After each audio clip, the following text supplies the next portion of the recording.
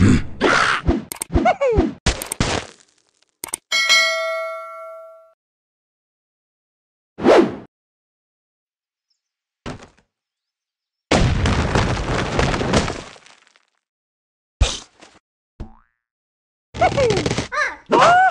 The